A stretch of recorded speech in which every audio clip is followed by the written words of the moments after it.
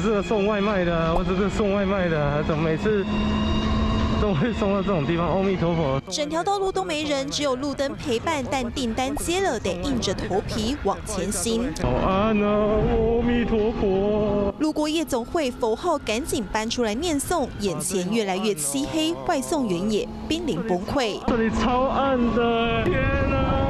好不容易来到目的地，终于出现人影，看见弟弟走出来取餐，也让他松一口气。没叫熊猫，不知道他们吃什么。一百八十四。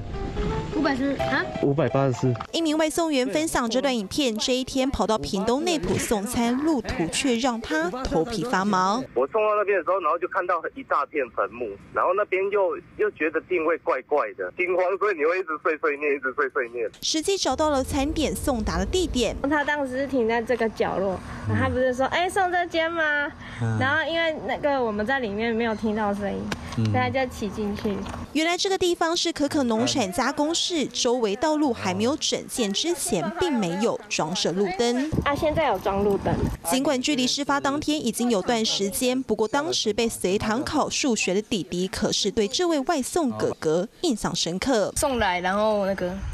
问那个问题，我是有听到他好像在跟观众介绍送餐送到偏僻漆黑之处，外送员怕爆，内心 always 真的只剩下当时的我害怕极了。华视新闻周末还小心许富杰屏东报道。Hello，我是张新闻，想要抢先掌握最及时的新闻资讯吗？赶快订阅、按赞、开启小铃铛，锁定华视新闻 YouTube 频道。